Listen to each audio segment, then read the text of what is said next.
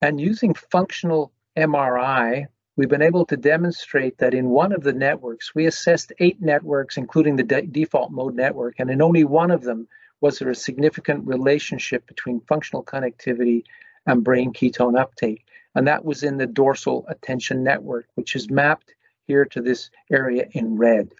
Uh, here and, and here superimposed on the ketone uptake in the brain. Again, this is the first time that anyone, as far as we know, has attempted to relate the functional connectivity in a particular network to the energy metabolism in that network. And we're seeing here a strong correlation between the functional connectivity in the dorsal attention network and the uptake of ketones in that same network. And when we look at, again, uh, the fifth dimension of, of of cognition, the uh, attention and processing speed.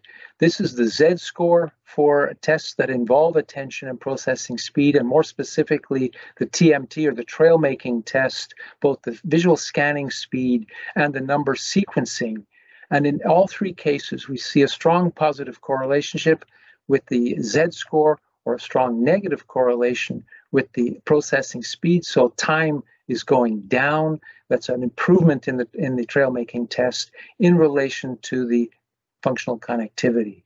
So there's a relationship between the functional connectivity, the improvement in cognition in, in relation to attention, and the availability of ketones or the improved energy status of the brain. So if we come back to the schematic I was showing you earlier about this vicious cycle, just to remind you that the chronic brain energy deficit seems to be fed by a pre-symptomatic glucose problem.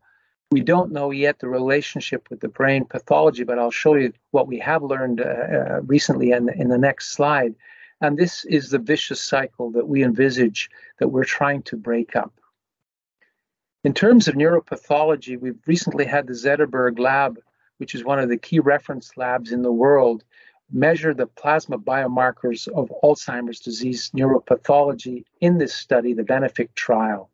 And as you can see quickly, um, there's no change in the phospho-tau 231, the phospho-tau 181, the beta amyloid 40 or 42, the glial fibrillary acidic protein, or the neurofilament light.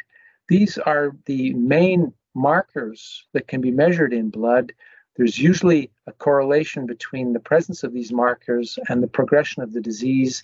And we're seeing that there is no change in the neuropathology by this indirect measure after having given a ketogenic MCT or the placebo uh, in mild cognitive impairment. So in this schematic, what we're showing with the ketone treatment is that we're improving brain energy status. So we're helping to reduce the impact of brain glucose hypometabolism on the brain. We're definitely improving functional connectivity and probably white matter integrity in the brain, we don't know whether there's actually been any change in the neuropathology by the indirect measure of plasma. That doesn't seem to be the case. And we're by this uh, approach, uh, we're in reducing the impact on the cognitive domain, so improved cognitive function, and we seem to be reducing, therefore, the impact on deteriorating brain energy metabolism. Uh, we don't know yet whether we've actually delayed the progression of the disease. It's going to take a longer term trial, but it looks like we're inhibiting this vicious cycle.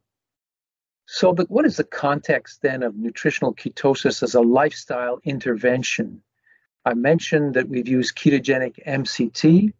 You can also use salts or esters as different forms of supplements. They haven't been shown yet to improve cognition in any type of long term study in uh, the elderly, but this is going to come. It's going to take a placebo treatment, which at the moment I'm not aware of any placebos for these for these types of supplements.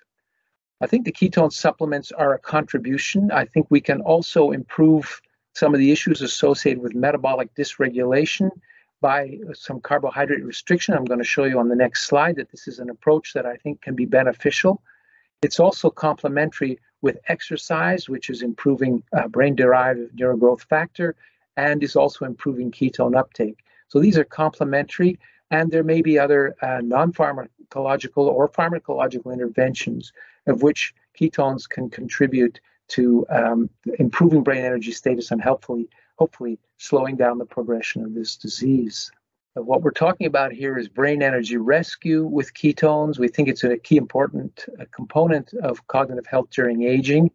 Uh, I hope I've uh, convinced you that brain glucose deficit is a specific problem related to glucose and is not a global problem of energy metabolism, and that it contributes to the risk of Alzheimer's disease and a vicious cycle and that there's normal brain glucose uptake has been demonstrated uh, independently in th- by three different methods, which I haven't had the time to mention, but this is now a robust observation.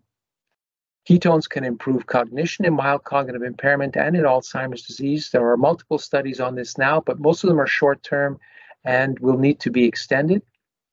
There may be an indication of an improvement in neuropathology that has been reported two years ago by CSF levels of, of markers. So this needs to be followed up and compared with the plasma values, which we don't see any change. I think reducing insulin resistance is contributing to brain problems with brain glucose uptake. It's a problem that is independent of age, and it is a problem that we absolutely need to address if we want to improve cognitive health during aging. So ketones are potentially part of the solution, but we need to improve glucose tolerance and perhaps have other interventions as well. Ultimately, larger, longer term RCTs are definitely going to be needed.